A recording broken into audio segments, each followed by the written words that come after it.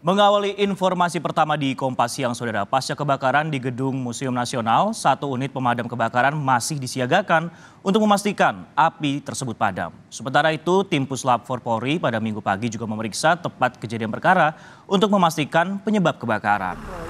Meski sudah berhasil dipadamkan dan melalui proses pendinginan, Saudara, namun asap putih juga masih terlihat mengepul dari puing sisa kebakaran. Dua unit mobil pemadam kebakaran serta satu mobil penyuplai air juga masih disiagakan di pintu belakang Museum Nasional. Garis polisi juga dipasang untuk mensterilisasi TKP saat investigasi penyebab kebakaran dilakukan. Tim dari Inavis dan juga Puslap 4 Polri pada minggu pagi juga datang untuk mengecek lokasi kebakaran tersebut. Pemeriksaan dilakukan di area sisa puing kebakaran yang diduga berasal dari bedeng proyek. Kebakaran Museum Nasional atau Museum Gajah di Jalan Medan Merdeka Barat terjadi pada Sabtu malam, saudara. Api membakar gedung A di area belakang museum. Atap serta tembok bagian belakang bangunan juga tampak ambruk. Sementara Mendikbud Tadi Makarim dan Kapolda Metro Jaya, Izin Karyoto, ketika meninjau lokasi kebakaran menyebut saat ini yang jadi prioritas adalah menyelamatkan artefak yang tersisa untuk diinventarisir oleh tim gabungan. Sementara polisi juga masih bekerja memastikan penyebab dari kebakaran. mungkin pertama prioritas utama kita sekarang adalah sebenarnya uh, menyelamatkan sebanyak mungkin uh, artefak-artefak dan benda-benda uh, bersejarah yang ada di dalam ruangan-ruangan yang terdampak oleh kebakaran itu. Itu adalah prioritas utama kami. Jadinya kami uh, telah berkoordinasi, jadi kami membuat uh, tim gabungan ya antara tim uh, museum dan pakar-pakar museum yang akan bekerja sama dengan aparat kepolisian dan juga aparat pemadam kebakaran untuk memastikan uh, bahwa Eh, benda-benda uh, tersebut uh, bisa kita catat apa kerusakannya uh, dan juga bisa kita amankan uh, bagi yang masih bisa diamankan. Saudara kami akan ajak Anda untuk memantau kondisi terkini di Museum Nasional dan juga investigasi penyebab kebakaran. Kita tanyakan pada jurnalis Kompas TV Triksi Valencia di kawasan sekitar Museum Nasional. Selamat siang Triksi. Hingga siang ini masih disiagakan dua unit mobil kebakaran. Apakah Api ini sebenarnya sudah padam seluruhnya dan apakah masih ada upaya pemadaman yang dilakukan pada siang ini?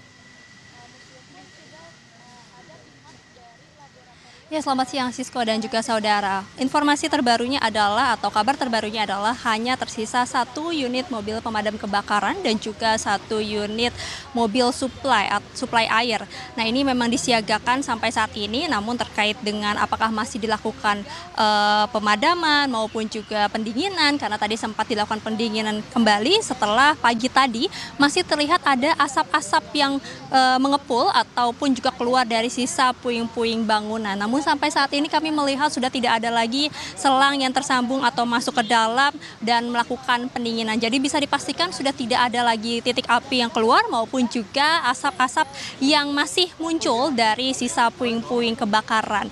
Nah kalau saat ini Francisco dan juga saudara memang masih dilakukan pemeriksaan awal.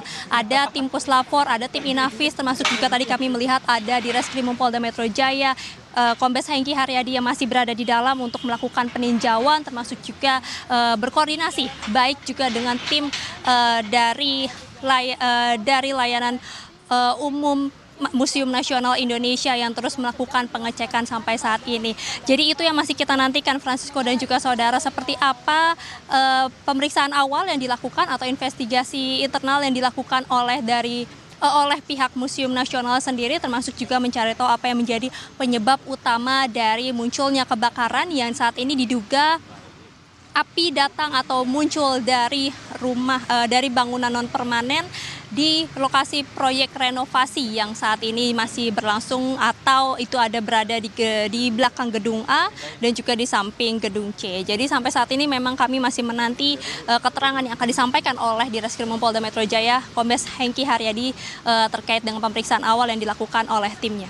Francisco. Baik, investigasi internal masih dilakukan, tapi yang juga menjadi sorotan sebenarnya seperti ini Triksi, adalah artefak yang tersimpan di Museum Nasional. Apa upaya yang dilakukan pihak museum untuk mendata kerusakan dan juga menyelamatkan artefak yang masih tersisa? Kemudian bagaimana nanti proses restorasi museum? Apakah sudah ada informasinya Triksi?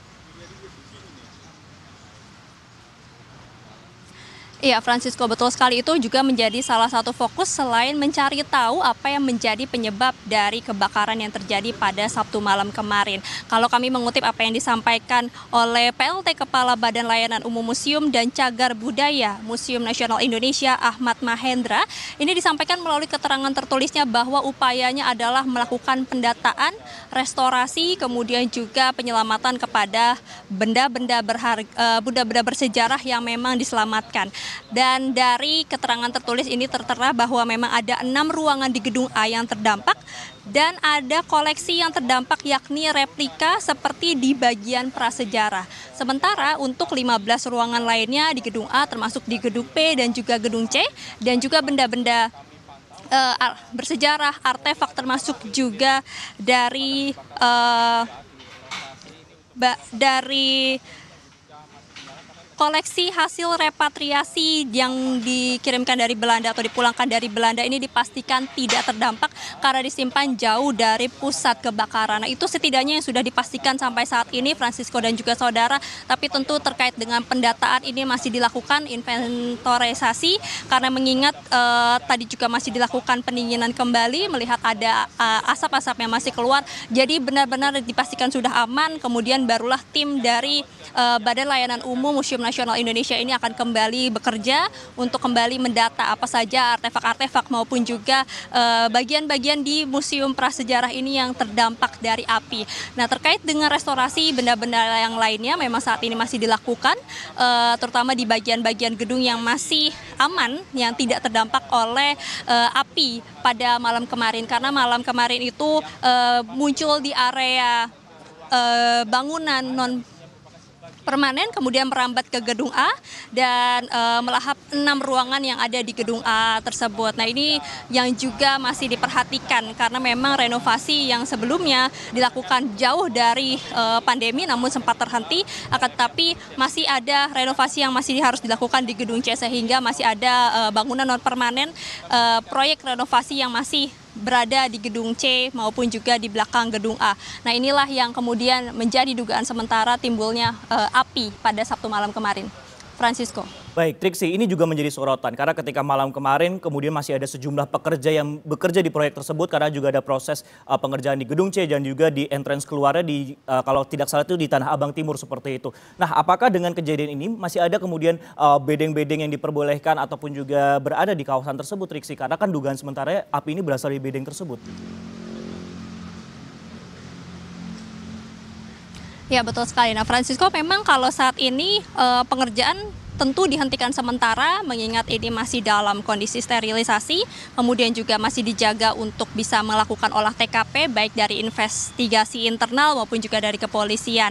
Nah terkait dengan mengapa masih ada bangunan non permanen ataupun juga bedeng-bedeng yang ada di belakang gedung A dan juga di samping gedung C ini dikarenakan memang masih ada renovasi yang dilakukan di dalam gedung C. Namun untuk terkait apa renovasi yang dilakukan kemudian sudah sejauh mana ini tentu akan kami pastikan kepada pihak Badan Layanan Umum Museum Nasional Indonesia Francisco. Tapi yang jelas informasi yang kami terima adalah uh, renovasi tersebut dilakukan sebelum pandemi ini berjalan ataupun juga terjadi. Namun ketika pandemi terjadi terpaksa dihentikan sementara waktu terkait dengan renovasi dan selesai dari pandemi inilah makanya renovasi baru kembali dilakukan sehingga masih ada bangunan non permanen ataupun juga bedeng yang berada di belakang gedung A dan juga di samping gedung C. Nah inilah yang nanti kita akan uh, pastikan kembali Francisco. Sudah sejauh mana sebenarnya renovasi yang berlangsung di Museum Nasional Indonesia ini sehingga masih ada lagi uh, bangunan semi permanen atau non permanen ini yang berada di kawasan Museum Nasional Indonesia. Yang lebih tepatnya ini adalah memang terlihat langsung dari pintu belakang Museum Galeri Nasional yakni ketika saudara ini masuk dari Jalan Abdul Muiz. Nah ini adalah pintu belakang uh, yang langsung menuju ke gedung C yang ada di belakang saya Francisco dan juga juga saudara. Dan di sebelah kiri ini memang tepat terlihat persis adalah bangunan non permanen ataupun juga yang saat ini menjadi sisa-sisa puing kebakaran yang saat ini masih dilakukan pemeriksaan sementara investigasi internal baik oleh Museum Nasional Indonesia maupun juga dari pihak kepolisian yakni Inavis dan juga Puslapor. Sisko. Baik, kami nantikan bagaimana update dari sana. Terima kasih Triksi Valencia yang melaporkan langsung dari Museum Nasional Jakarta. Selamat kembali bekerja rekan. Dan pada